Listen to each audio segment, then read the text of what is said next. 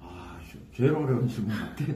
어, 일단 내 경험상 전화 오면 무조건 언제 가겠다라고 하지 말고 나 변호사랑 상담해보고 얘기해주겠다. 무작정 일정 좀 잡지 마셨으면 좋겠어요.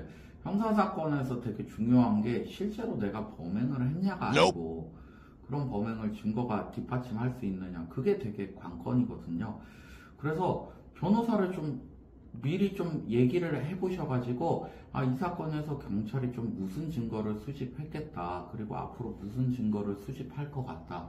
이런 거에 비춰봤을 때 내가 죄를 인정하는 게 좋을지 아니면 무죄를 주장하는 게 좋을지 인정한다 그러면 좀 어느 정도 선에서 좀 조정하는 게 맞을지 좀 결정하시고 좀 가시면 좋겠어요. 두 번째로 이 고소 범위가 조금 되게 불특정된 사건들이 있어요. 그러니까 뭐 좀 애매하다 이런 사건들에서는 좀 쟁점이 많은 사건도 있고요. 이런 데서는 고소장이나 진정서를 미리 연락 등사 신청을 좀 해보세요.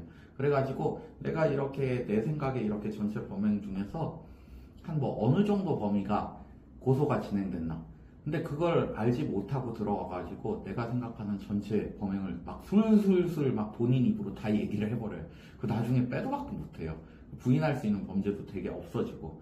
그리고 세 번째로는, 음, 자, 본인이 이렇게 조금 불리하다 싶으면 기억이 안 나고 그냥 한번 생각해 보겠다라고만 얘기를 하세요. 아, 이거 많은 분들이 좀 실수하시는데 수사관이 이렇게 전화를 와서 범죄 인정하십니까? 하고 뭐 언제 뭐 보이스피싱 자금 전달하셨죠? 막 이렇게 물어보는 경우가 있어요.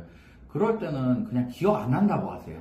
왜냐 그러면 수사관이 그렇게 얘기를 하게 되면 조사를 할 때 아, 전화 통화에서는 그렇게 인정하지 않았냐. 근데 왜 지금 부인하냐? 거짓말하는 거냐? 막 이렇게 심리적으로 압박을 해요. 그렇게 되면 나중에 할 말이 좀 없어져요. 그래서 그렇게 대응하시는 게 좋고 그리고 하나 더 수사관님들 중에 물론 많은 수사관님들이 되게 좋아요. 요새는 매너도 좋으시고 또 많이 배우시고 배워서 나오시고 하시는데 일부는 되게 또 강압적이고 압박적이고 좀 그런 수사관님들도 계세요. 그런 수사관님들 같은 경우에는 수사관 교체 요청해가지고 되게 편안한 분위기에서 또 조사를 받을 수가 있어요.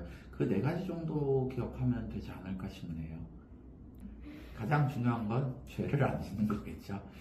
그러면 제가 먹고 못 살겠죠.